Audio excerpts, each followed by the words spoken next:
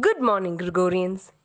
When the pandemic of COVID 19 spreads all over India and Kerala being the highest number of reported cases every day, my dear friends, let's be more vigilant.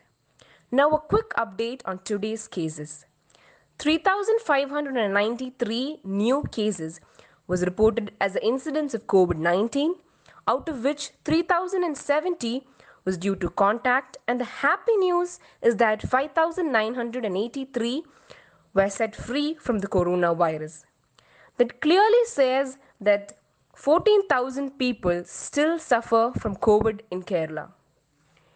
By maintaining a safe space of at least 6 feet from others, let's abide the golden rule of staying physically distant but together in hearts. Take care for a healthy today and a healthy tomorrow. An ounce of prevention is better than tons of cure. Goodbye, good luck, and have a great day. Thank you.